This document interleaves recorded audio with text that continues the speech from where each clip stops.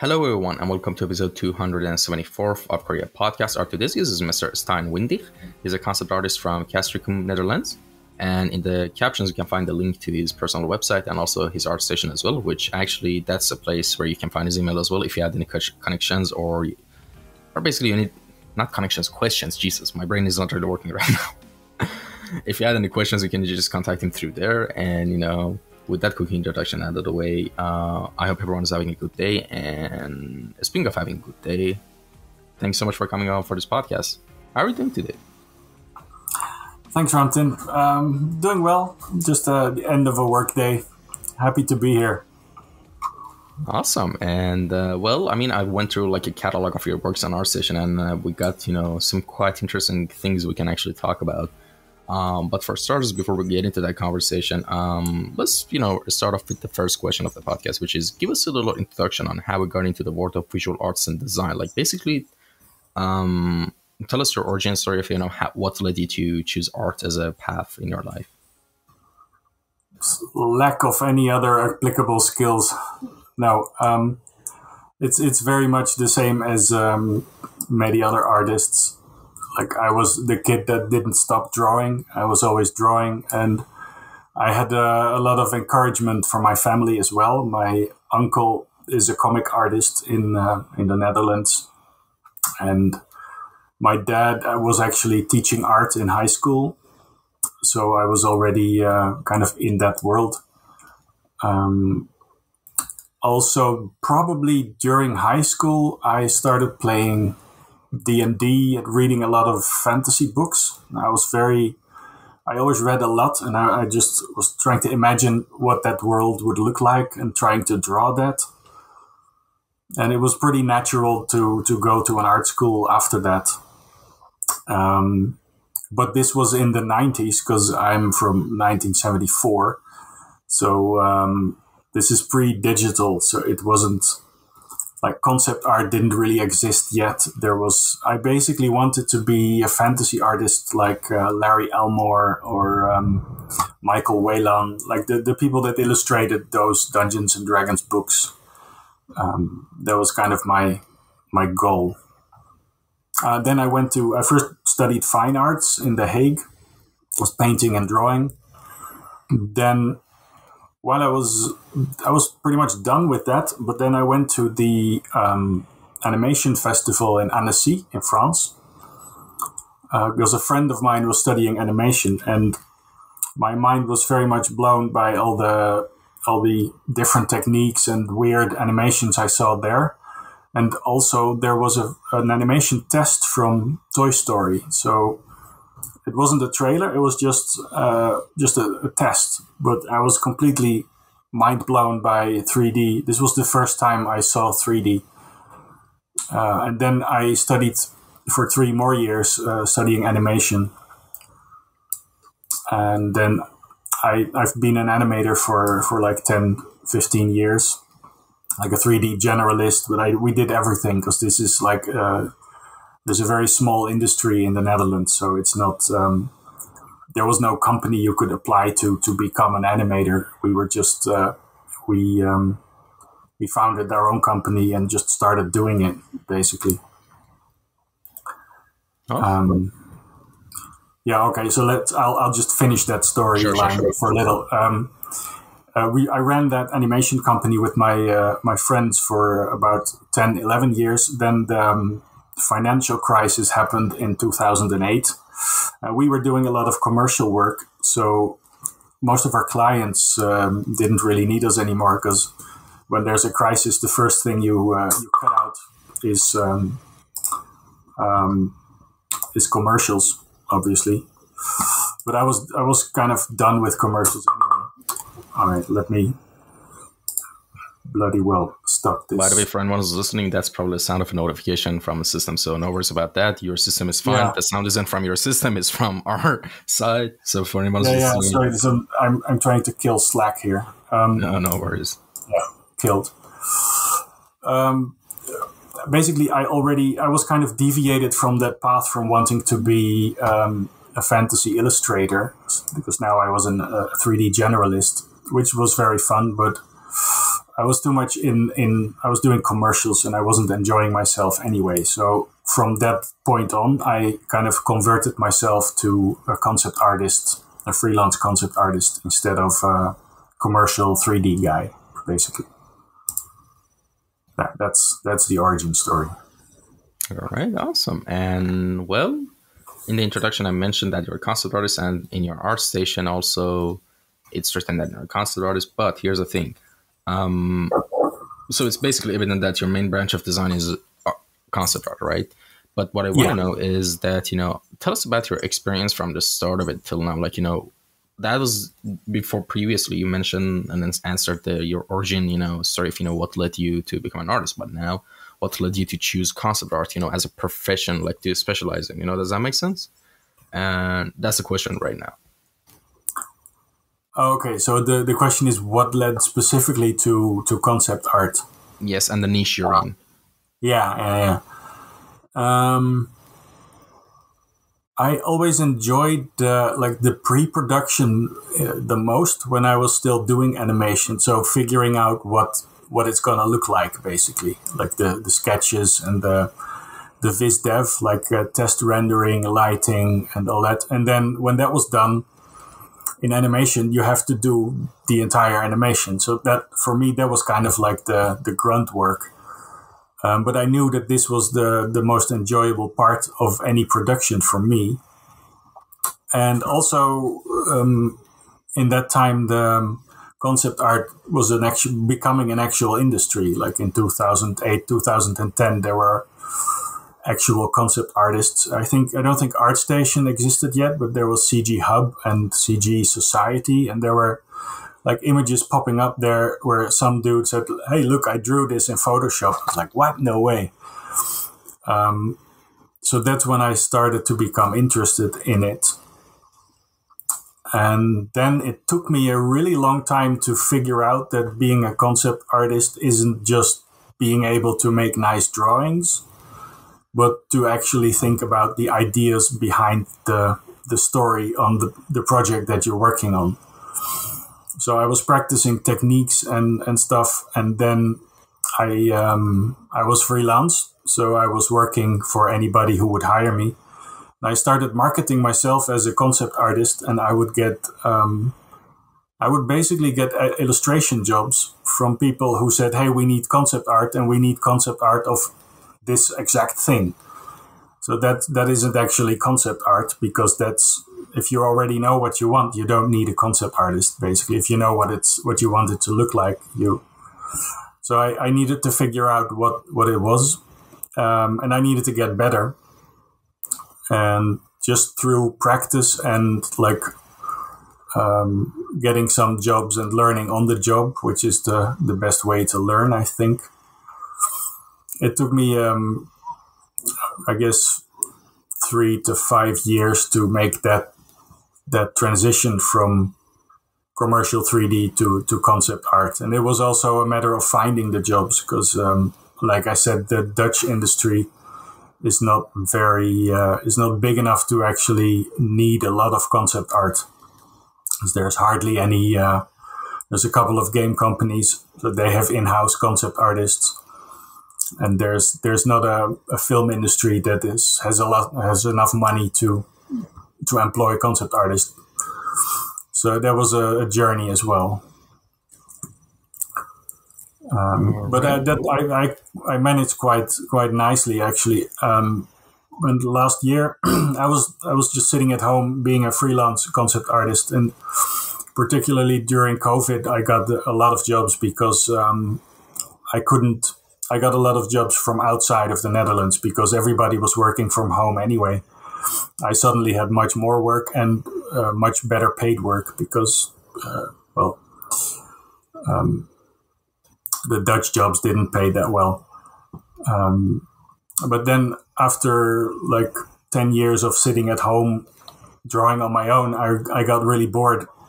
And that's why I started working for, um, for Krafton Europe, which is the, the company that makes PUBG. So I'm employed by them now. So I go into the office uh, three days a week. And that also helped me to understand concept art better because now I have colleagues that uh, give me feedback, which is useful. That's awesome. And how's the experience been so far? You know, working on PUBG. Ah, it's really fun. It's uh, it's great to just have uh, like the team is very nice. My art director is great. the The general vibe there is uh, is quite nice. I'm a little freaked out though because I'm uh, I'm working in the World Trade Center, which is like this super posh, uh, gleaming tower of of business. It's full of investment bankers and lawyers, and then there's a bunch of freaky guys with mohawks and game T-shirts and tattoos. So it's it's a it's a weird mix. So I'm if I if you would have told me I would be working in the World Trade Center like uh, five years ago, I would have laughed in your face. I was like, yeah, no way. I'm used to working in, in basements with uh, with no light and a bunch of uh, dudes playing loud music. So it's a bit of a change. Yeah, I, I could just imagine. And well, let's go into you know a little bit of technical question, which is how does your design process usually go anytime you want to start working on a new um, project or piece? Like you know, basically, of course, I know for most people, an artist is it differs between like personal work and you know work that you do professionally at job. Yeah, good but, point. Yes, exactly. But I want to know what does this, the structure of a, structure of your pipeline looks like, you know, for both of these, you know, uh, okay, yeah. separate paths for for both, right? Okay, so um, when it's a professional work, like client work or um, at my job, it's very streamlined and also very similar to what I think most um, concept artists who use 3D in their pipeline use. So first there's some reference gathering and, and some sketching. Then there's a lot of uh, either modeling or kit bashing or um, sometimes uh, sculpting 3D. I like to use Oculus Medium as well, like with the, the VR set and just uh, sculpting in, in VR because it's very intuitive, but only for organic stuff.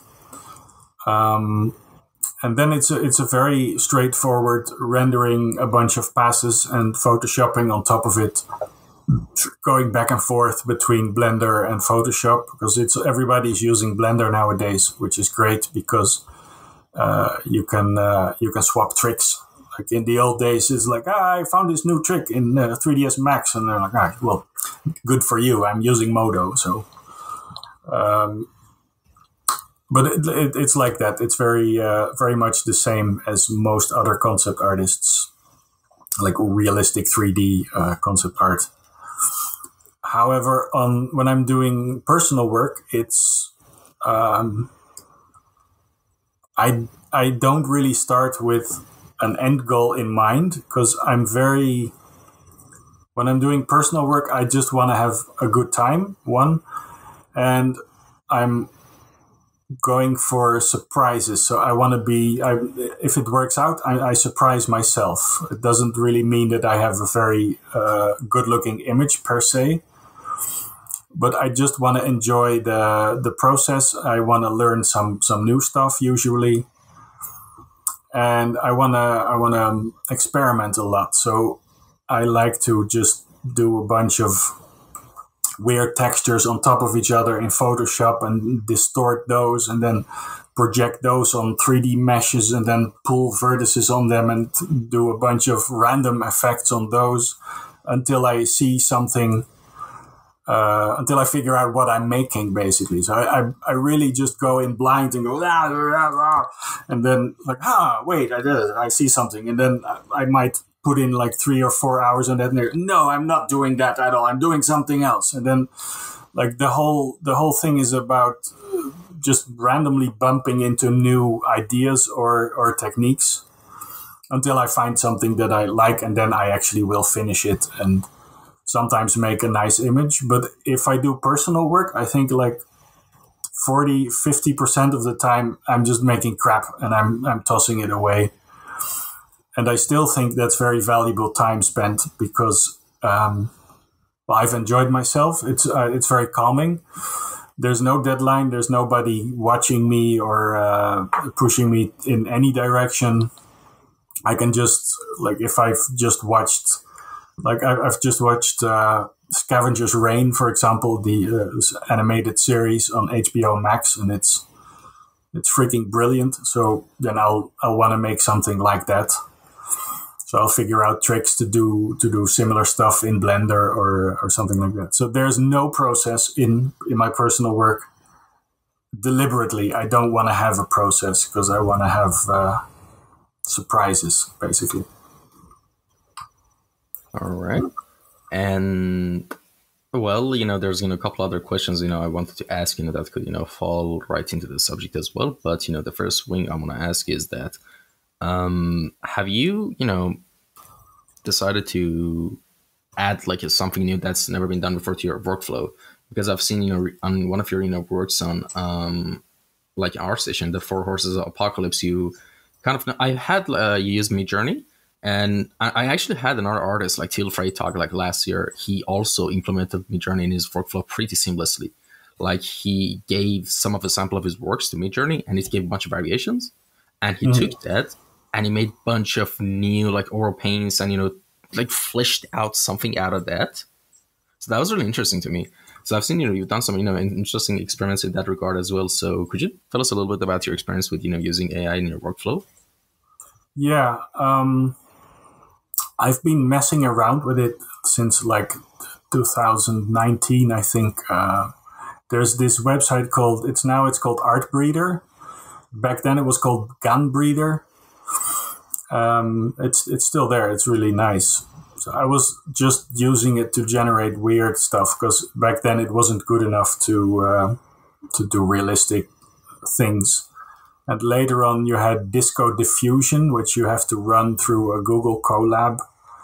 I was always interested in just fiddling with it because you had these the mistakes that it made were actually what made it interesting because you would try and make a castle and you you'd get sort of splattered paint with parts of a castle somewhere.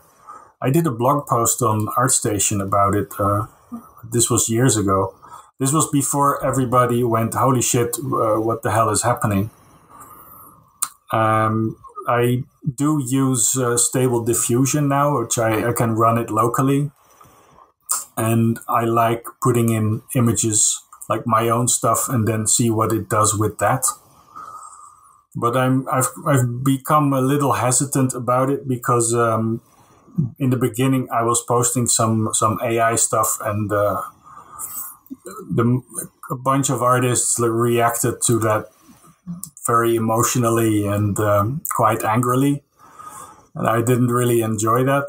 Uh, and this has been going on for the past couple of years. Uh, for example, I um, I was on a panel for the Playgrounds Festival in Amsterdam once, and there there was this whole discussion about AI, but it wasn't a discussion. Everybody was just gonna, oh, we have to cancel this, and we have to protest, and there's a we have to sue them and everything, and copyright. And I agree with all of that. But there is a there's an, a more interesting discussion to be had, I think um, I'm actually rambling. This isn't the answer to your question at all. no, please uh, do go on. And this is actually getting interesting. Please, I don't want to stop you.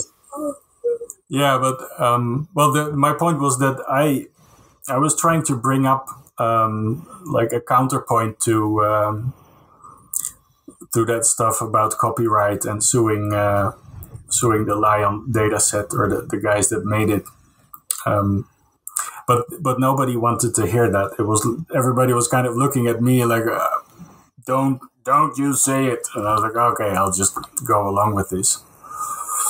But this is a, this is a bigger discussion that uh, we we can either have or don't have. Your your question was about the horses of the apocalypse. Um, Oh yeah, your implementation of AI in the workflow because as I, as yeah. I mentioned, there's been people who've been doing that, and I'm kind of interested. You know how how uh, I am trying to figure out. Uh, to be honest, it's really hard to do. Um, a, I find it very hard to do AI stuff implemented in my work and also enjoy the process because uh, sometimes you get something and it's just finished and uh, it's not mine. I didn't make it. I I can't do anything with it, or I don't feel like. So I'm trying to cut it up and use it in different ways. So I had some interesting results there, and I slapped it on uh, on a couple of planes and started playing with it in 3D until I um, I ended up with with that piece. But by the time it's finished, it's it's like eighty percent uh, like me doing stuff, and um, I don't know if it's 80-20, but like I don't want to just use it as is. I, I want to be able to to sort of transform it and make something that I want to make. Um, but that is pretty hard, but mostly because it's so so good right now. Um, well, mostly because it's become so sophisticated. It's not good necessarily as an art tool now because it kind of removes me from the equation. Like, and also like was what I was saying before, the the mistakes are actually what made it fun in the beginning.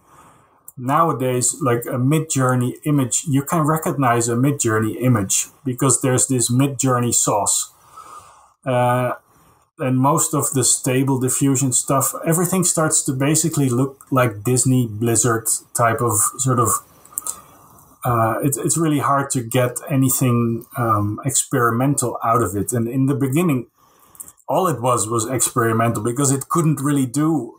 It was so stunted that it couldn't really do uh, like proper hands or proper faces or proper anatomy or perspective or atmosphere or whatever that's not a problem. We can do that. Like we've been trained to do to do those things.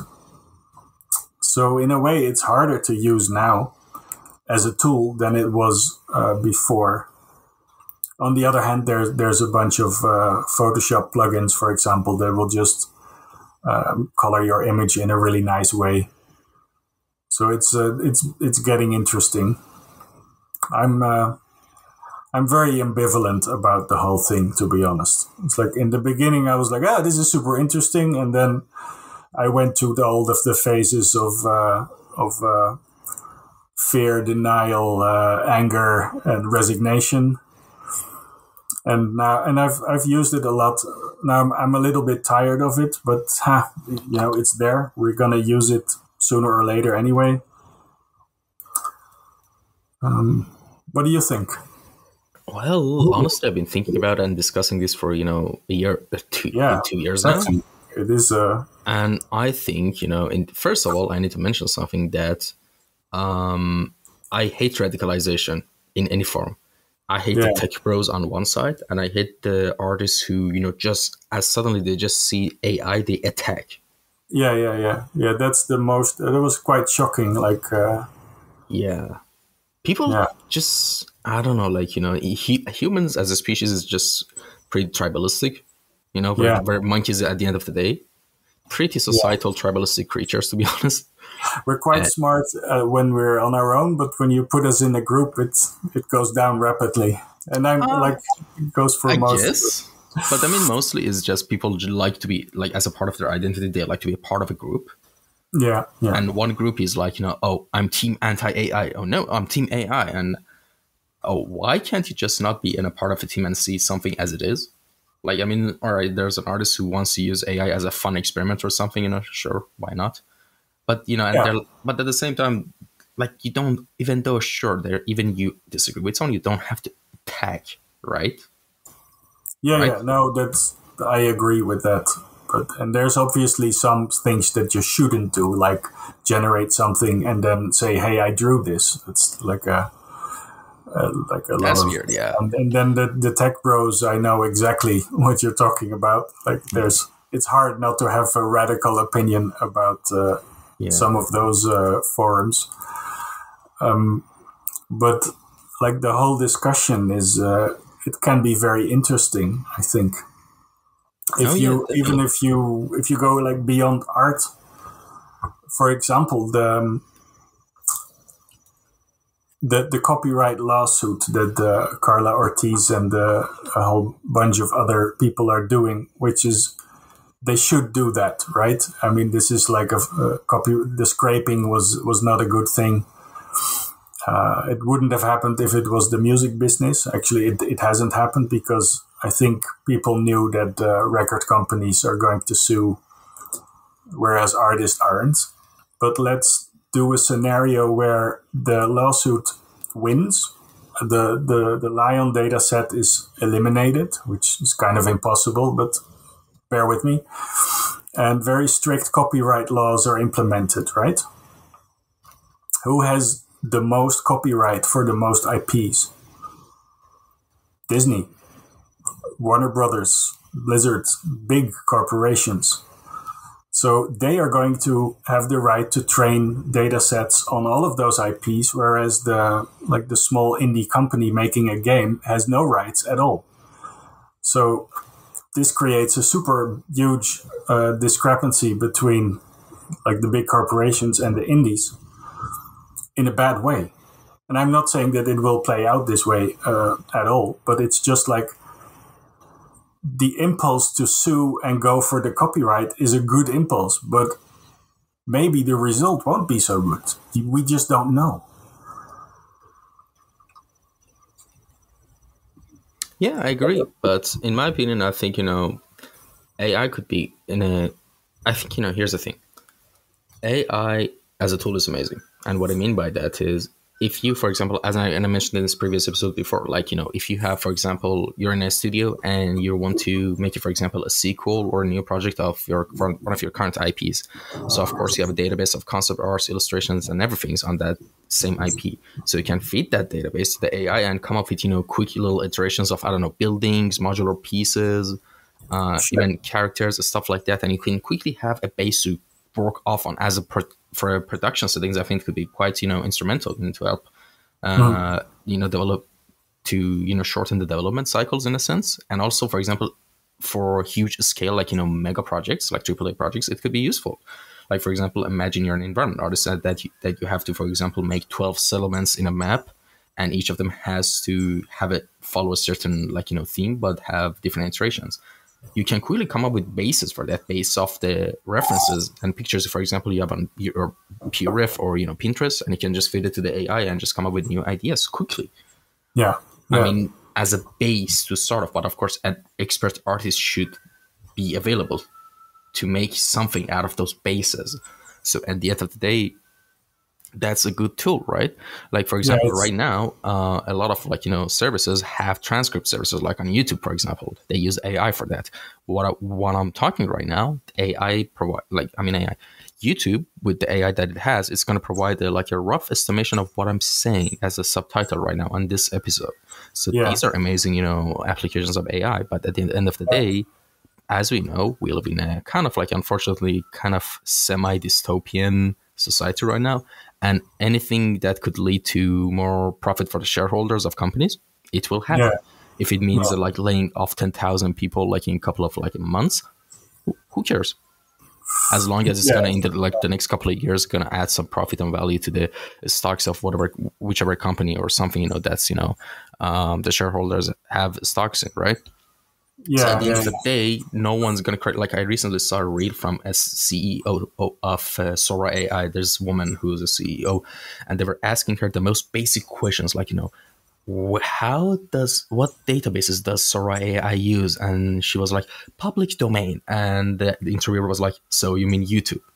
And she was like, I'm not quite sure about that. And the interviewer was so Instagram, Facebook, and all social medias. And like, I don't know, you know, and these are the most basic questions. Of course, she knows, but of course, she's a CEO and she has to be careful with whatever she says technically. So, yeah. Um, but yeah. as we stand right now, um, there is actual concern to be had over, you know, the development of and implementation of AI in the industry. But at the same time, don't just try to tear someone down because they're using AI for fun or they just think it's a cool idea to use AI. I mean, yeah, yeah, yeah I, no. but there's one. I'm sorry, but before I, I'm just gonna finish after this. Ah. There's just one exception that I have no issue with attacking them and being radical towards uh, the tech bros. And I don't care. Like, I absolutely don't care.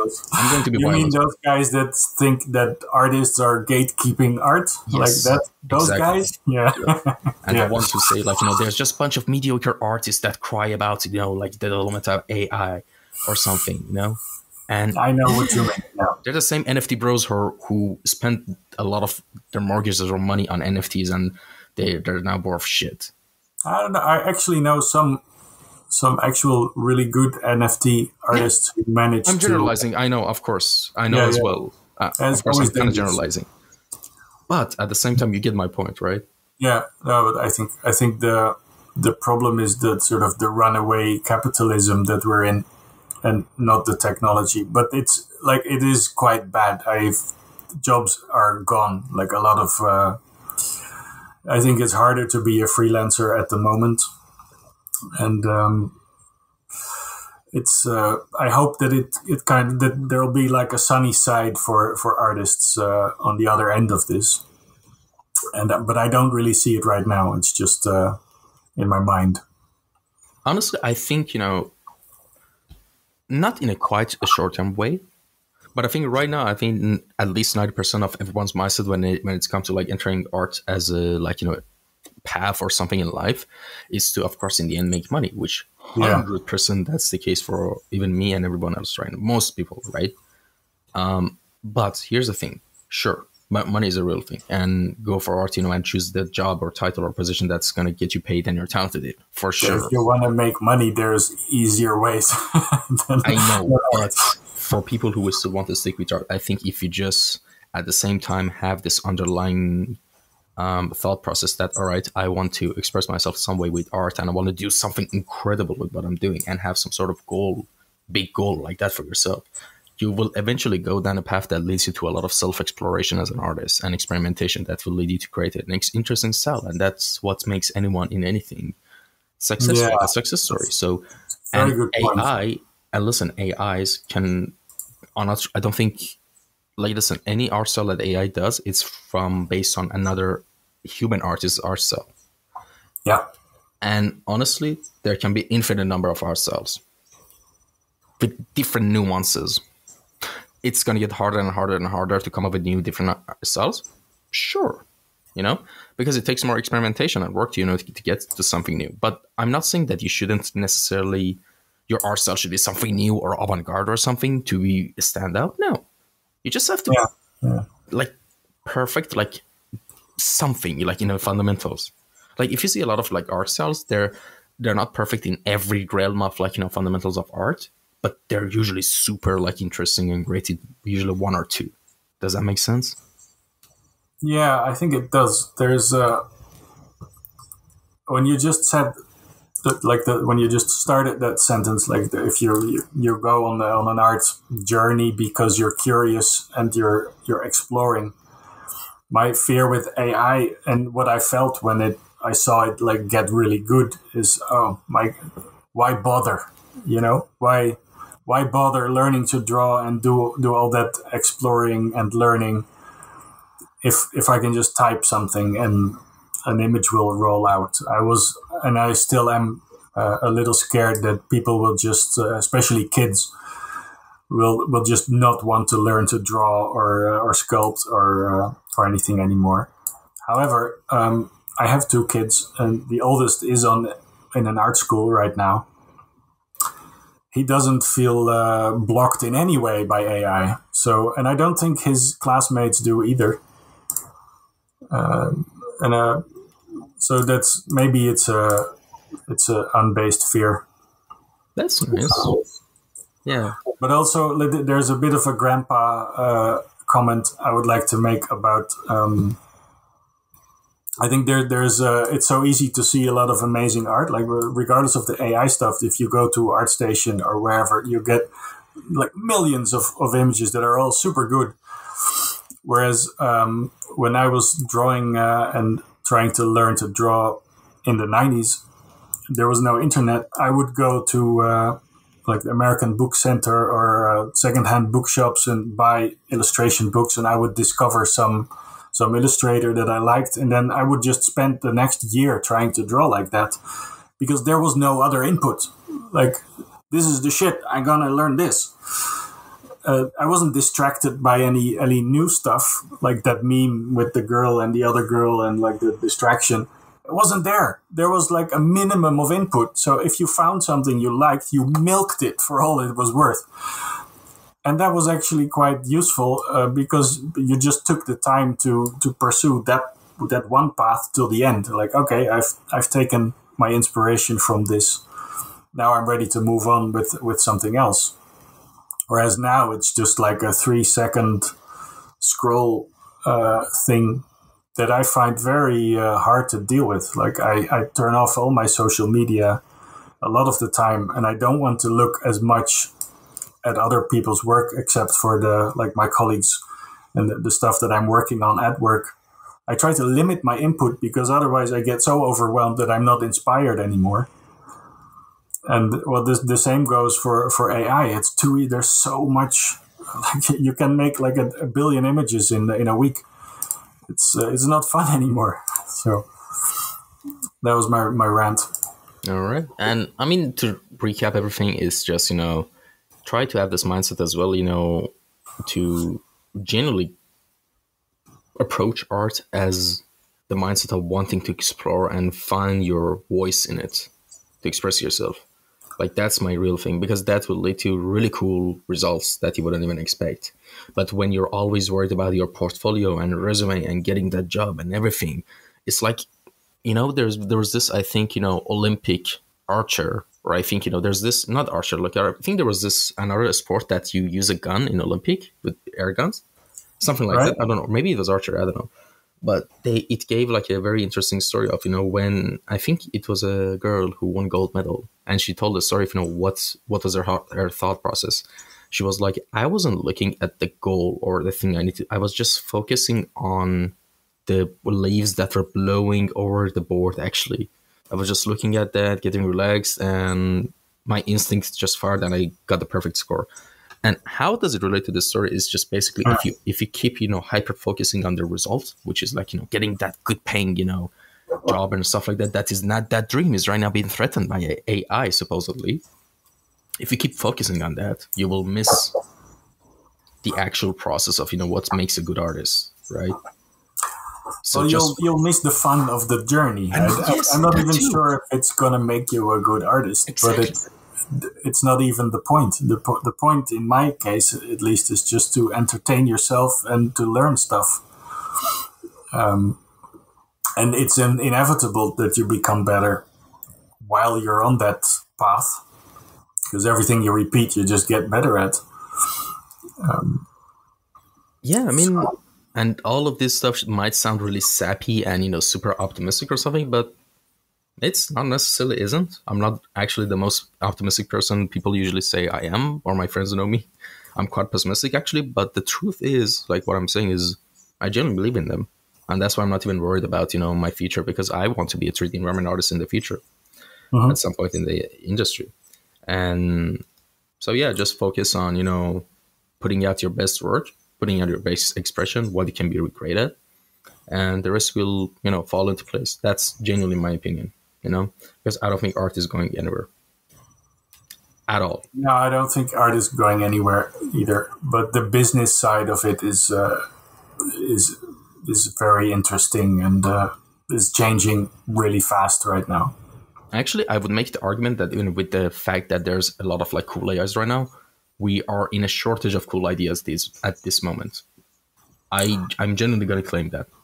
Well, we, yeah. I mean, look at Hollywood. There's a sequel after prequel after. Uh, even though I think we're in the golden age of animation. Like I literally, I just I'm watching Blue Eye Samurai, which is just like a mainstream Netflix. And it's freaking awesome. It's really good. It's like what I was crying for uh, like 10 years ago when animation was still mostly for kids but we've got Love, Death, Robots. We got like the Scavenger's Reign, which really, in my opinion, is sort of the holy grail of animation. I mean, it looks like Moebius. and I'm a, I'm a huge Moebius fan. The story is fantastic as well.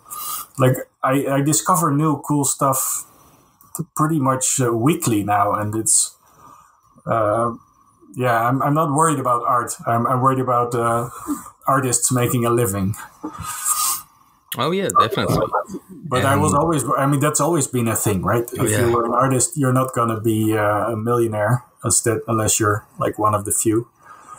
I mean, I don't know. Maybe it's a weird topic, but I mean, right now in this world, if you're not an entrepreneur in any shape or form in what you're doing, you're not going to be a millionaire, which is like a weird topic to say. Yeah, I do miss that. When I was freelancer, I always had this fantasy like I could have the million dollar job or, or, or some opportunity that would make me actually uh, like uh, make enough money to not worry about it for a while. And um, I, I do miss that that fantasy. Well, I mean, it's, it's always like kind of like you know fun exercise to always talk to yourself whenever you you want to do something like you know, hmm, technically, if I actually want to make a million dollars in savings, what should I do? And that leads you to a path of like learning a lot of stuff, and, in, and not just with making money with anything, you know. Yeah, but then Like- that means you have to put a lot of thought in it, and that means Yes, you're you- like all of your your energy is going towards how do I make that money. I don't want to do that. Like my my For time is short. I need to do better know? stuff than that. Yeah, for some people it's fun. It's like a video game. It's like literally like in a video game that you have to build up a business or something. They some people see it like that, like, and it's kind of interesting, you know. Yeah, I- I should have I should have learned that like uh, when I was younger because I was always like follow your heart and do whatever you want and the- the rest will come naturally. It doesn't. You have to think about money if you want to have money. So I learned that really late in in life when my company crashed basically because before that everything was going quite nicely and I didn't really have to bother uh, myself too much with it. Um, but I think if you if you want to get rich, you have to put in a lot of effort to get rich, which takes away from putting effort into other stuff. And I'm can't be arsed to do that. I'm, as long as I'm not hungry and I can feed my family, I'm I'm fine. Yeah, that's awesome. Yeah, like at the end of the day, we all want to live a happy life, and that doesn't mean you should have a million dollars or something. Honestly, No, even though it's uh, like paying five Like, it's a bucks thing for a that- cup of coffee right now is. Uh, yeah. The thing is that it's just a brainwashing of society to, of it at some point as well. Like that, we all have to be rich to be happy. We all have to have the highest thing to be happy, which I think is like Uh, total, like you know, dude, my parents were hippies. I was never told Awesome, that, that money makes that's you happy. actually. it was kind of uh, you couldn't it's it's forbidden to talk about money it's like a taboo subject so um, uh, That's my mom yeah well it, it's it's partly great i mean it would have been cool if i knew that that money is actually important uh, Oh yeah, there's on. another side of that as well. But I mean,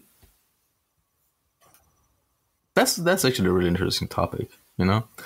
But the but I assume like you know most people in first world countries don't really have that you know itch to make money than people who are born from third world countries. This is a pattern I've seen usually Um, yeah because for many reasons enough, mostly. uh, Yeah, sorry, go on.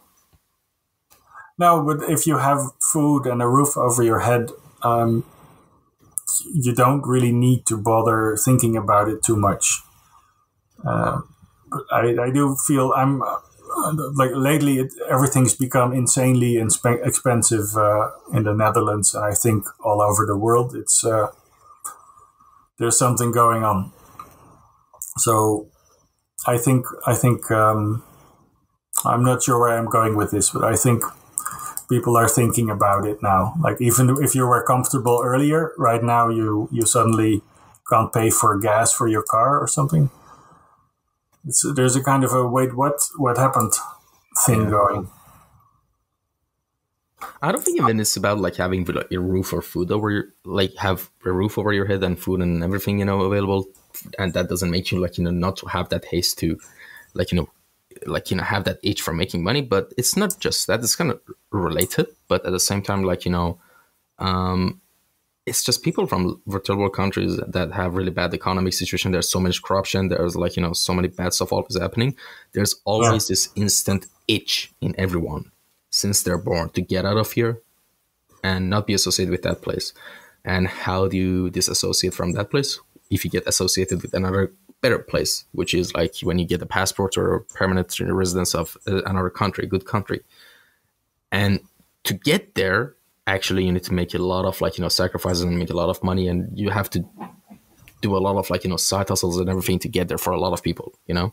Okay. And you have to have a, a certain amount of like economic brain to invest for your future, you know, in these countries. But I think you know when you're born in America or you know Europe, you you're kind of already like in a video game where you spawn in different locations. Sometimes your character, and you know when you spawn in somewhere, let's say Norway, for example, you don't have to worry about your passport strength. You don't have to worry about you know necessarily uh, how some things are. You know when it comes to your living situation or standards. That's why you really don't have that necessity. You make good money. You can live. The standards are nice.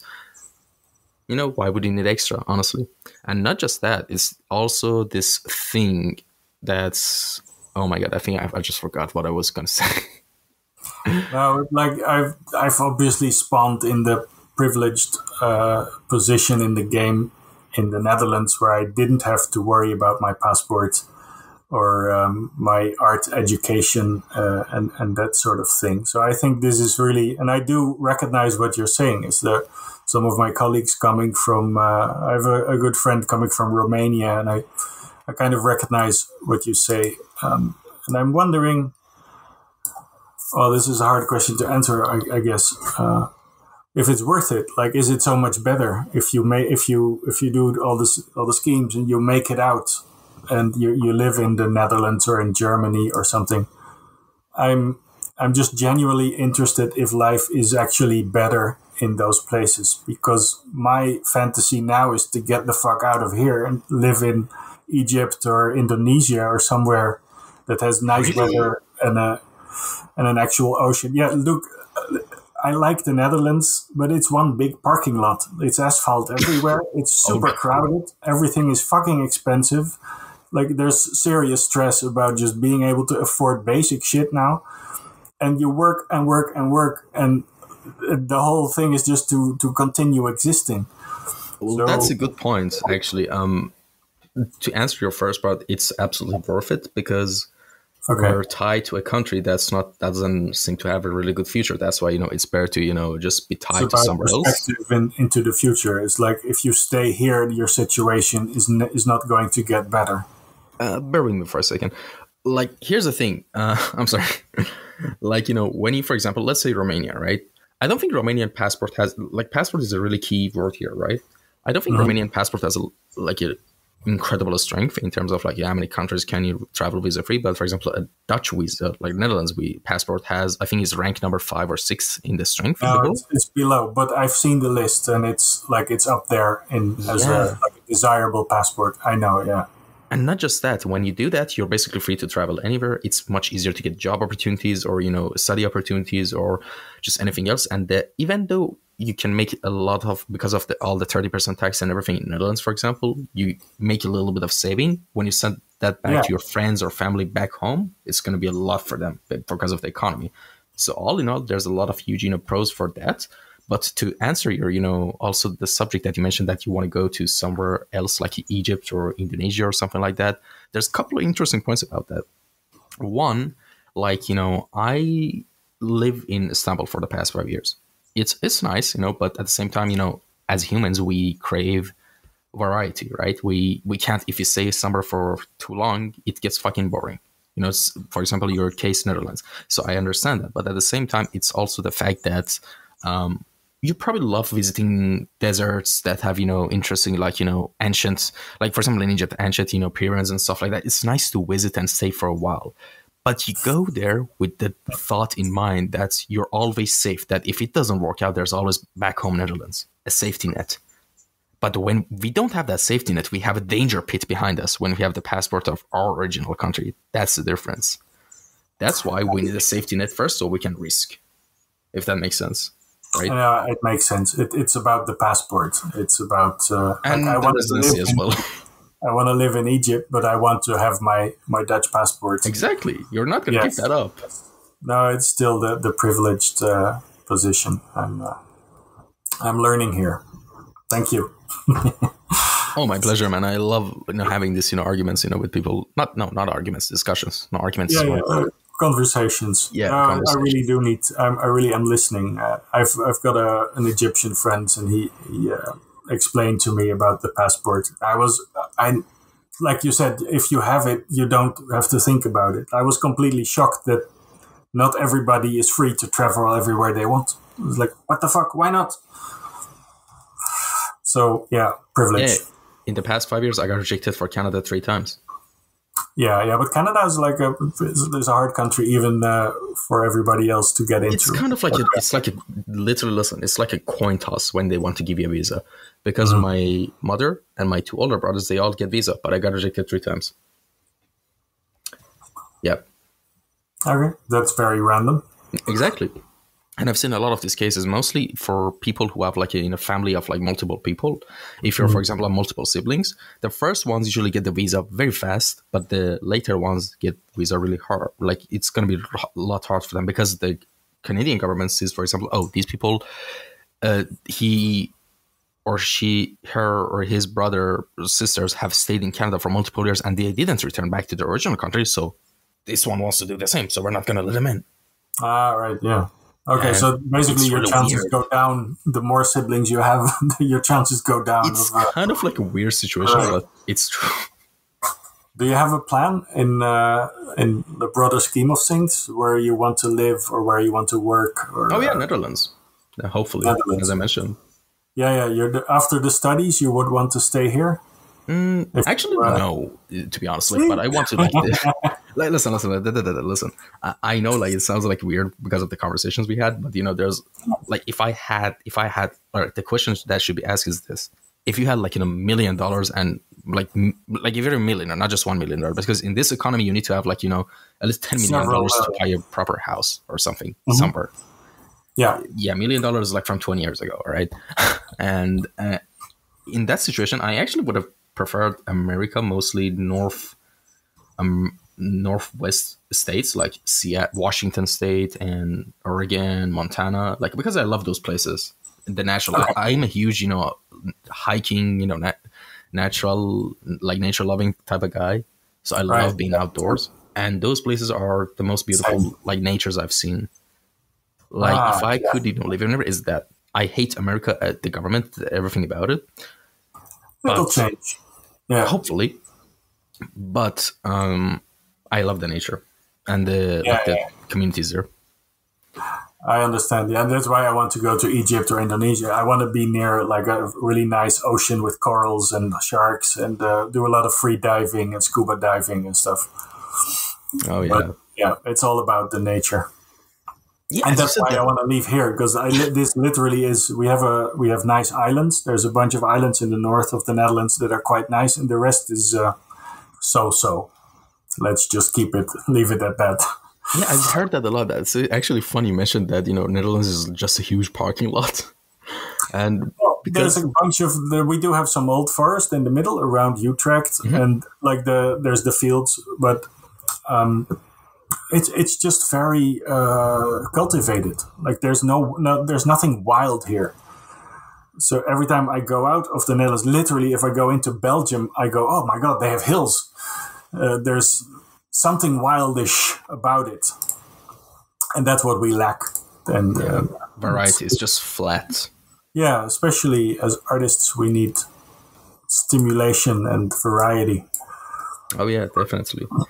And yeah, that's that's actually an interesting point. Um, but the good thing is when you enter like a European Union country, you can basically travel the whole area pretty easily. So Oh, yeah. that's a good bonus. Yeah, that is also that is true. That's very simple. I don't. Uh, you don't even get checked much at the border. It's just it feels like it's just one big uh, thing in terms of borders. It's uh, Oh yeah. And all right, so let me actually go back to our topic about arts again, um, if that's okay. Do you have anything to add on to our previous topic, by the way? no, not really. All right. So the next question is: Who are some of your favorite artists and designers that have inspired you the most? I think on the top of the list is Moebius, uh, Jean Giraud. He, um, I think, if you look behind me, there's this this image here. It's one of his, but it's also um, a drawing of Tetsuo from Akira, which brings me to Otomo. So basically, Moebius and Otomo for me are, are super important. Um, and then there's like those two, and then there's a some drop off, and then like a huge list of uh, of other artists that that we that goes on and on. But I'm gonna keep it at those two because they're the they're the top bunch. Also, kind of Frank Frazetta is still uh, still trying to get up there in the pantheon. All right. And what are you working on right now that you can tell us about? What kind of project is it? I mean, of course, if there's NDAs involved, we can skip right past this question. Yeah, I get in but, real trouble if I uh, yeah if I talk I, about anything. I imagine, yeah, game but related. At least you know what personal stuff could you are you doing right now that you can tell us about? Yeah, um, I'm I'm uh, I'm very slowly crunching on a on a comic that I want to draw, but it's I'm writing the story, then rewriting it. This will take years, and I've noticed that since I started um, like having an actual job as an employee, I haven't done much personal art. I think partly because I was uh, I was a little motivated by getting jobs. So I would make an art piece, I would post it on ArtStation and LinkedIn, and usually I would get some kind of message from somebody asking, "Hey, uh, that was nice. Can you can we work with you?"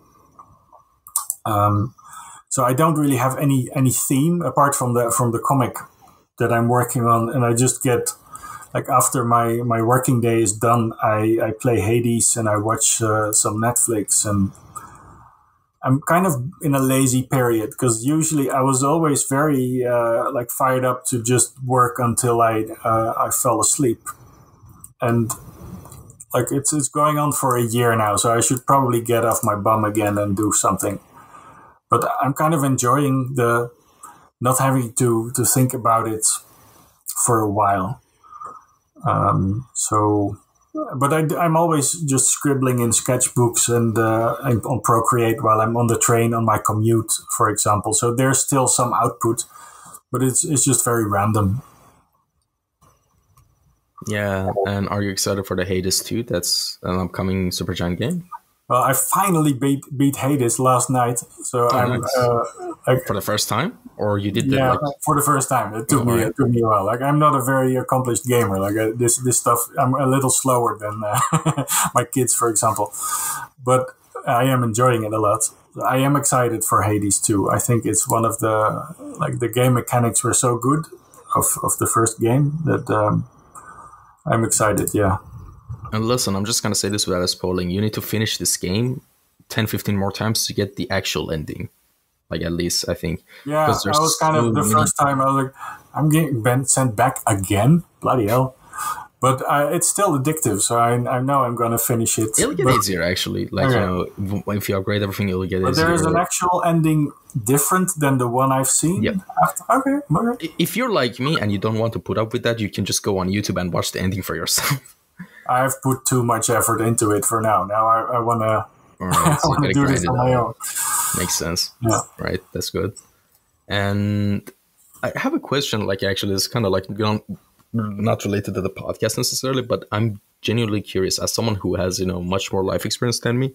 Um, I have a, I, I'm going to turn 27 like in a couple of months, and there's something I've been noticing since like you know the last couple, two three years and it's kind of interesting and funny at the same time for me to say this but does why does it get harder to wake up actually? Why is that a thing? Because when i was 15 16 i would just jump back jump up from my bed like a spring. But now i i'm fatigued all the time. I know it's a lack of exercise and a lot of like lifestyle choices yes but i've noticed this as a pattern. Like every year it gets harder to wake up like I could go on like with two, three hours of sleep and boom, nothing's wrong, you know?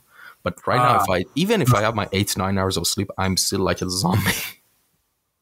if you have if you have consistent eight, nine hours of sleep and you still feel like a zombie, maybe you're just working too hard.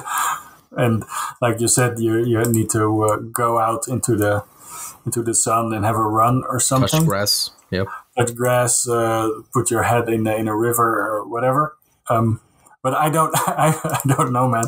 This is a, a biological question. I know that I find it hard to get up, but that makes sense. I'm nearly fifty, and I'm like, uh, and I know that um, I I value my sleep like ten times more than I used to when I was uh, I was your age. I was like, okay, I'll I'll pull an all nighter, no problem. Um, I won't do that now.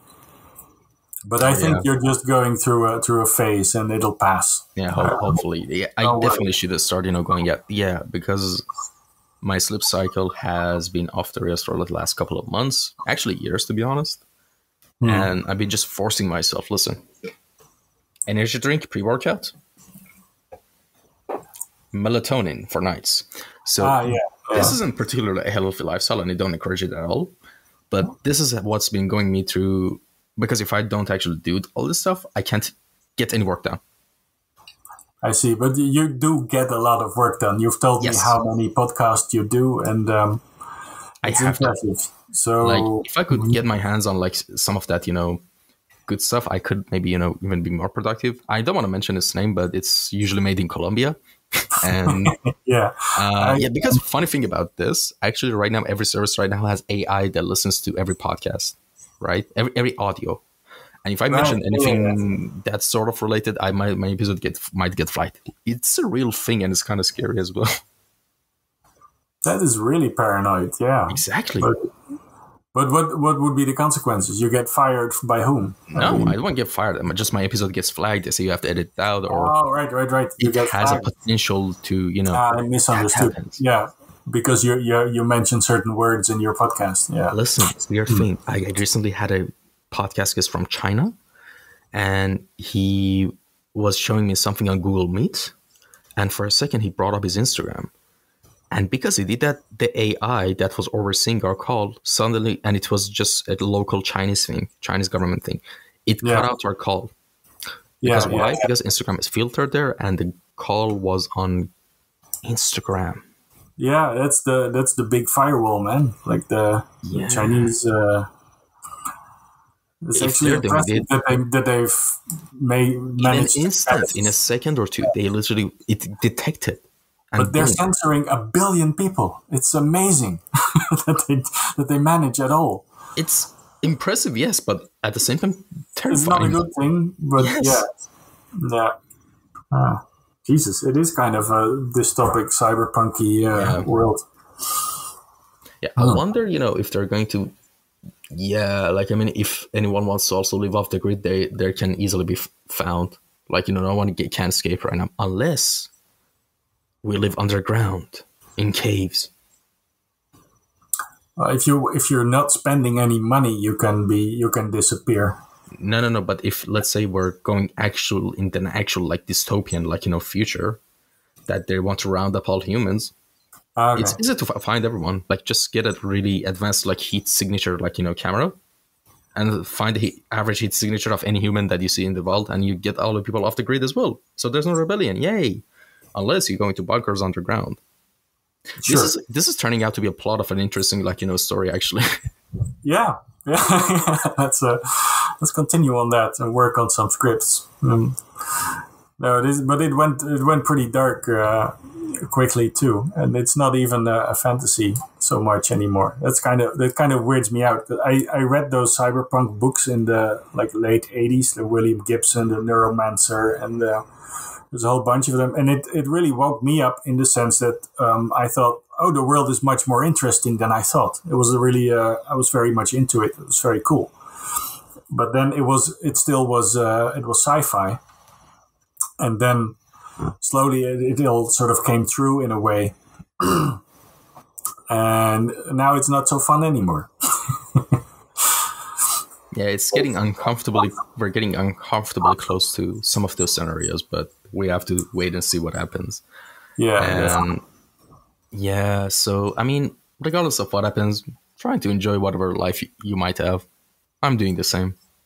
Honestly, that's all we can do.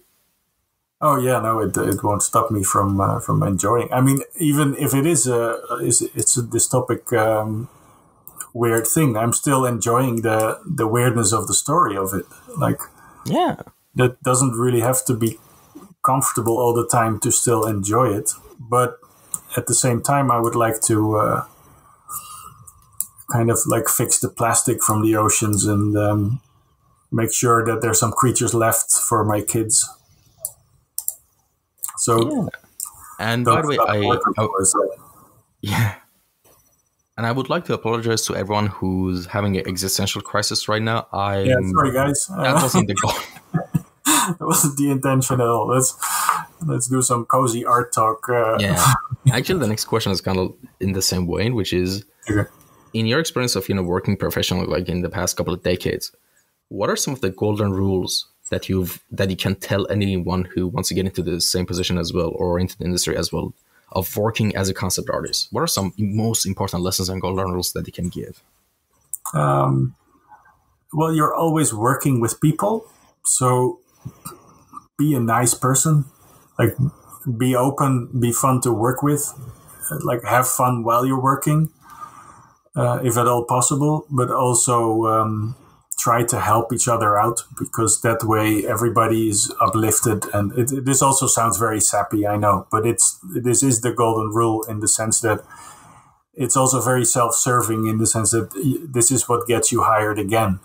If you were fun, even if you weren't the best, but you were still you were like you got your shit done on time and you were fun to work with. That's I think more important than being uh, the very best of uh, of something um, golden rules are i'm still figuring those out man. It's uh, my my golden rule is that i want to enjoy myself in in any job even um, even if I, I now have uh, job security because i'm working in the games industry but there's like rounds of people being fired left and right so there's no there's oh that's a golden rule. Actually uh, I worked that out while mostly being freelancers. There is no such thing as security. Like sometimes there's a relative period of the security, but then everything changes all the time. So don't get too comfortable in any uh, situation.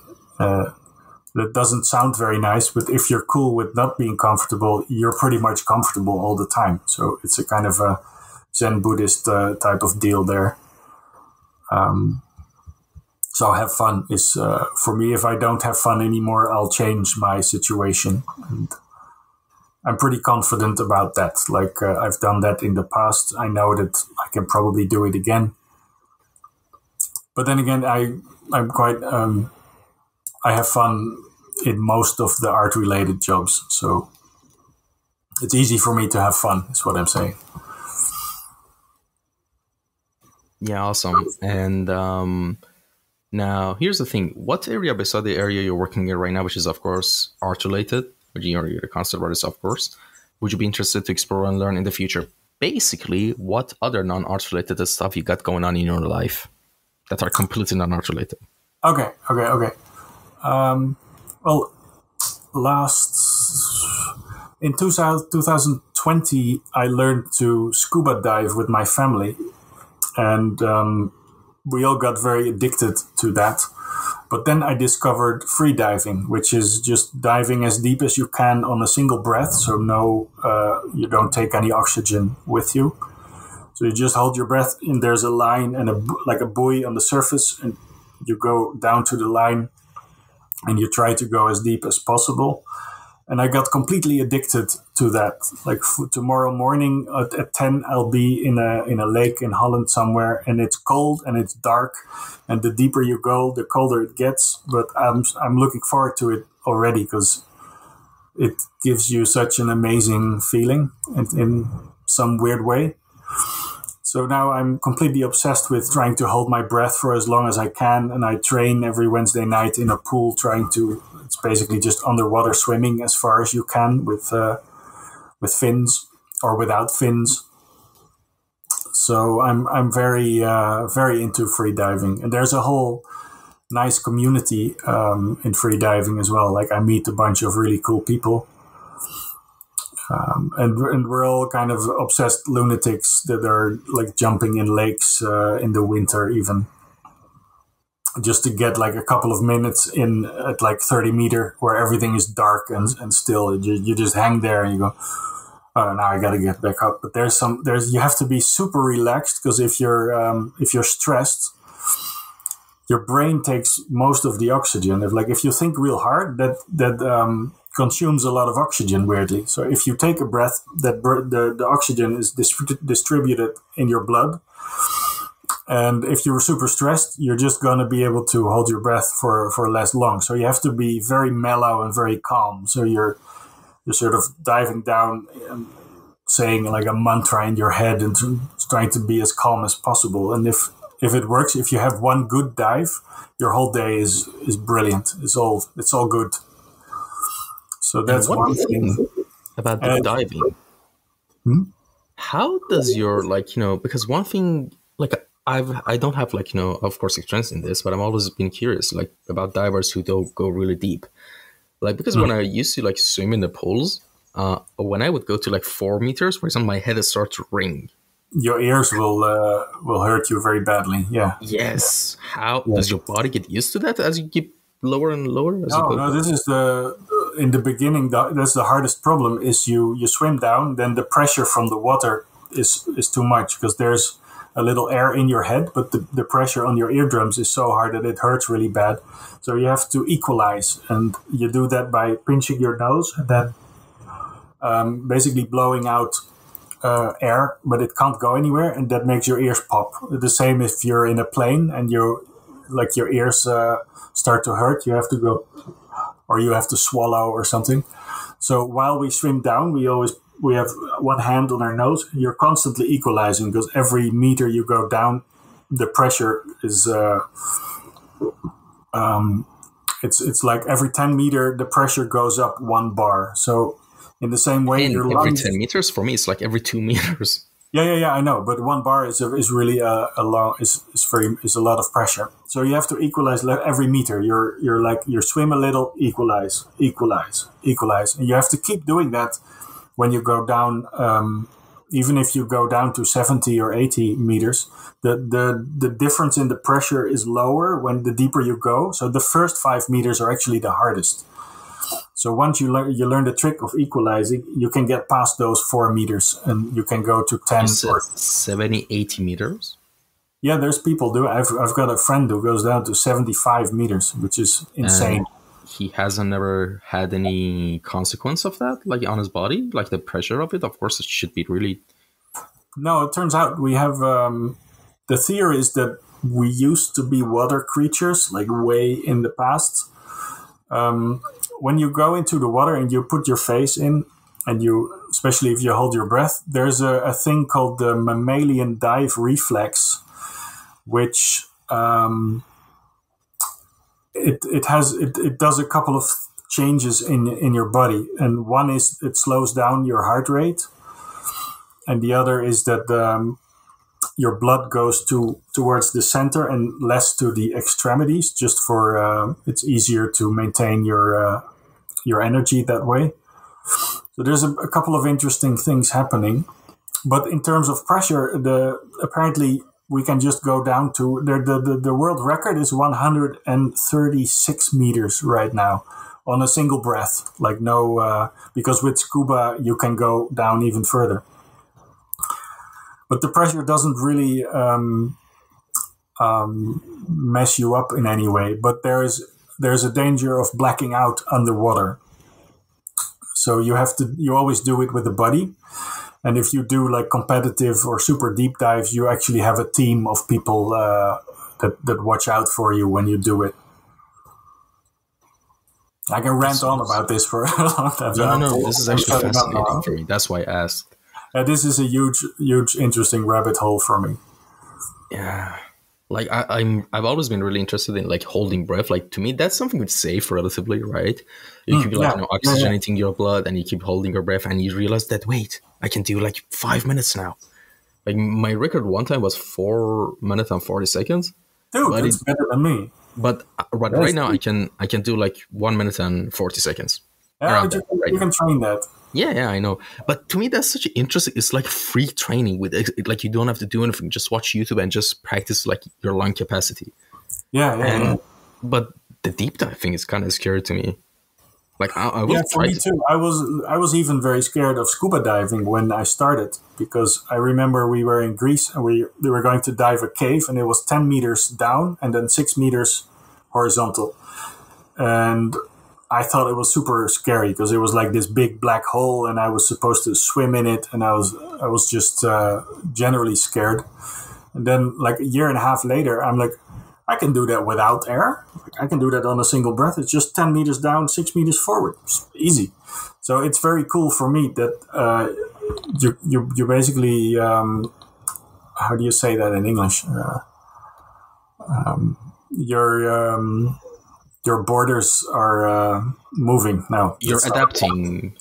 Yeah, you're, you're just growing. Like Yeah, um, and it's it's very the the free diving is super good for my my mental health basically because there's uh, so many things to stress out about that this practice really helps me because you I, it's it's like hardcore meditation training you have to go down you're very stressed but you can't be stressed because if you if you stress you can't go any further so it's like you have to learn how to let go very quickly it's like stress no let go stress let go so that's why I think if you have a good dive, the rest of your day is is like done. There's nothing that can bring you out of balance anymore.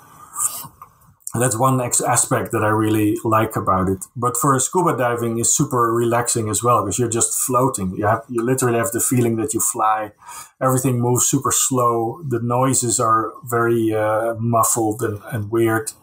It's it's very psychedelic, but without any. Uh, of those substances from that country. Yeah, but there's at the same time my fear of thalassophobia.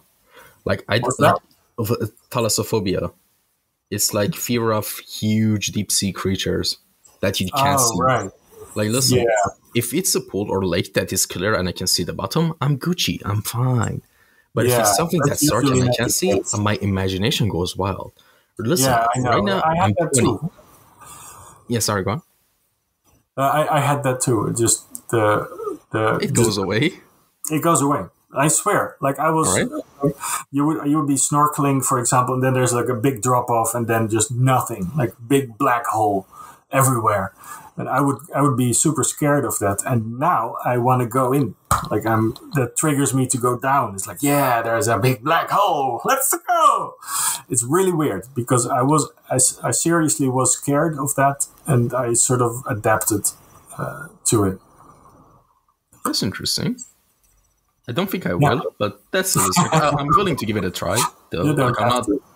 Yeah, like yeah. Another one is like this. Another phobia was uh, that was you know related to this was the phobia of seeing mega structures under the water, Hmm. like you know abandoned huge ships or submarines or, or cranes or you know that that sort of instills a certain fear in me as well. Like it's such an uneasy, unnerving feeling. I don't know how to describe it I did like imagine scuba- you're under the sea you're exploring then as you go lower and lower you suddenly see as because as you go lower and lower you know you have to be close to as object for it to you know become a little bit visible of course Yeah, it's very gloomy.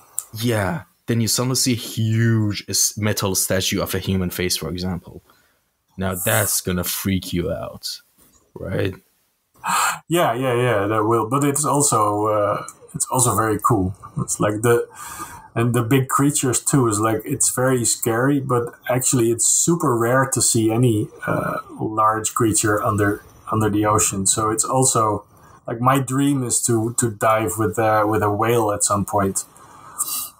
But I'd be I'd be very scared as well. It's the that makes it interesting. Interesting. Yeah, like that that was really scary, but also really interesting. There was this weird clip of this Iran- Iranian guy, fisherman, who on the I think Persian Gulf, they were they saw like a whale that was surfacing, and the guy just casually said, "Put the boat over there, put the boat over there," and the dude literally just started walking on the whale like it was nothing and just showing off, and jumped back on the boat like some crazy guy. That is weird. Okay. Yeah. Yeah, there are a lot of whales in that area as well, apparently. Okay. Um, could go there. Well, I think this was a really good episode.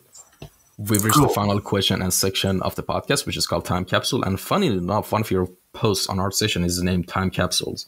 So those are kind of interesting to me. And all right, so let me explain how it is. Imagine you only had like a couple of minutes, like a like a short amount of time, right, to say uh, whatever you want. But what I want to ask you actually is, what are some of the most important and valuable lessons that you've learned throughout your life thus far that you could summarize them in a couple of sentences? What would they be? And the audience that's going to listen to this, like you know, part of the episode, is anyone at any point of time in the future that are listening to this podcast right now. So this answer is from one human, which is yourself, to another human being. So this isn't art related at all. It's human related, if that makes sense. Damn, dude. Yeah. No pressure, your, right? yeah, take your time, man. It's fine. Uh, well, no, I think uh, is, um, meditation is a very useful skill to learn in in any uh, human life. I think, on many levels. Um, and it's important to follow your fascinations, even though they might be very unproductive or weird or anything. Just follow them until the end because it's kind of what makes you interesting. There's, um, and also what, like for me, the things I live for are actually pretty unimportant. Like the, the free diving thing is there's a, a very specific 10 seconds that I live for right now, which is like it's not productive. It doesn't bring me anything, but it's it's important to me. And I know that if I didn't have that, I'd get depressed. So it, it's very important to find out what you and it changes during a lifetime. So always be like open enough to find your your weird fascinations and never apologize for just following those. And I think that's all I have to say in uh, in this uh, time capsule human advice pod. All right. I guess that's a wrap. Thank you so much for taking your time and coming on for this episode. And thank you to anyone who tuned in and listened to this episode. I hope you're enjoying this recent episodes as well.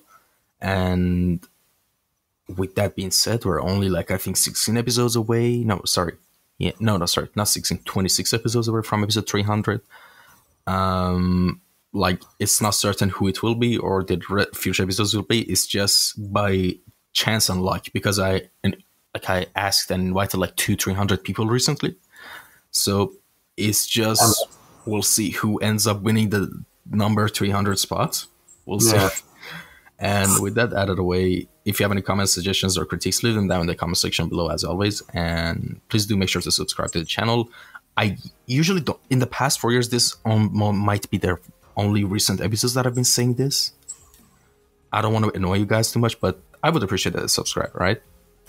And if you enjoyed this episode, of course, or any other episodes, See, I'm not even good at this whole self promotion shit, as you can see, right? Yeah, but it's fun. It, like it, it's I have watched a bunch. It's a fun podcast. It's a fun cast. Exactly. Watch it, guys. Thank you for having me, Ramtin. It was fun. Yeah, my pleasure. And of course, if anyone has a question, you know, for our guest today, you can email him through his ArtStation, or you can message him through ArtStation. The email is in in, his ArtStation, which the link is down below in the captions. And with that being said, take care, everyone. Stay safe. Till next episode. Bye bye. Cheers, guys.